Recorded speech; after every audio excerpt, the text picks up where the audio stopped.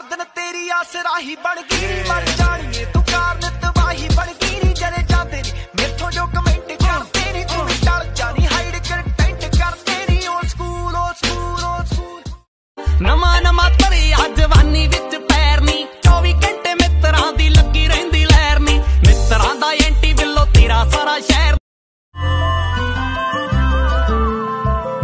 ਆ ਇਕੱਠੀ ਹੋ ਕੇ ਦੁਨੀਆ ਬਣਾ ਲਈਏ।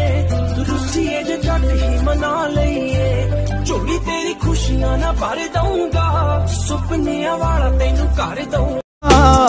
ਤੈਨੂੰ ਦਿਲ ਨਾਲ ਸਦਾ ਲਾ ਕੇ ਰੱਖੂੰਗਾ। ਖੁਸ਼ੀਆਂ ਦਊਂਗਾ, ਪਹਿਰੇਦਾਰ ਹੋ ਗਿਆ। ਰੋਵੇਂਗੀ ਮੁਕੱਦਰਾਂ ਨੂੰ ਹੀਰੇ ਮੇਰੀਏ, ਜੇ ਹੀਰਿਆਂ ਦੇ ਮੈਂ ਸੁਣਿਆ ਪਿੰਡ ਦੇ ਵਿੱਚ ਤੂੰ ਬੈਲੀਆ ਖਵਾਉਣਾ 16 ਸਾਲ ਦੀ ਉਮਰ ਹੈ ਤੇਰੀ, ਤੂੰ ਪੁਰਾਣੇ ਖੁੰਡਾਂ ਨੂੰ ਜ਼ਿੰਦਗੀ ਸਿਖਾਉਣਾ ਸਰੀਏ ਵਾਂਗੂ ਸਿੱਧੇ ਕੀਤੇ ਆ, ਜਿਹੜੇ ਕਰਦੇ ਸੀ ਸਾਨੂੰ ਠੱਠ। ਸ਼ੇਰ ਨੂੰ ਜੰਗਲ ਦਾ ਰਾਹ ਨਹੀਂ ਦੱਸੀਦਾ ਪੁੱਤ, ਉਹਦੀ ਜੰਗਲ ਜੀ ਘਸੀ ਹੁੰਦੀ ਆ ਪਿੱਠ।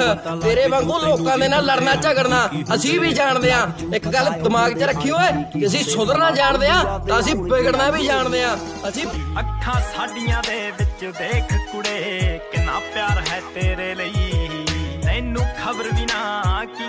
ਜੂ। ਤੇਰਾ ਯਾਰ ਹੈ ਤੇਰੇ ਲਈ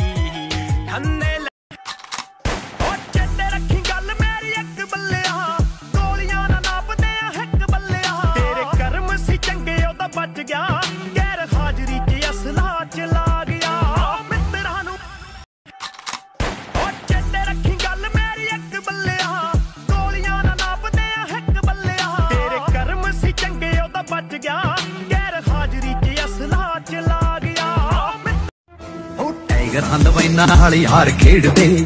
ਜਹਾਜ਼ਾਂ ਵਿੱਚ ਬੈਠ ਕੇ ਸ਼ਿਕਾਰ ਖੇਡਦੇ।